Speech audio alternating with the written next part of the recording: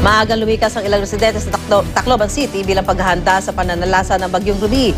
Abala ang mga terminal ng mga bus at A- uh, UV Express para sa mga pasaherong lumilikas. Halos magkaubusan ng biyahe dahil sa dami ng mga pasahero kaya pahirapan ang pagkuha ng ticket maging sa mga van. Ang iba, dumiretso na sa Tacloban Astrodome na nagsilbing evacuation center noong manalasa ang Bagyong Yolanda. Kapansin-pansin naman ang tila pagpapanik buying ng mga tao sa Ormoc City. Marami ang namimili ng pagkain para raw hindi sila magkulang gaya ng naranasan nila noong pananalasa ng Bagyong Yolanda.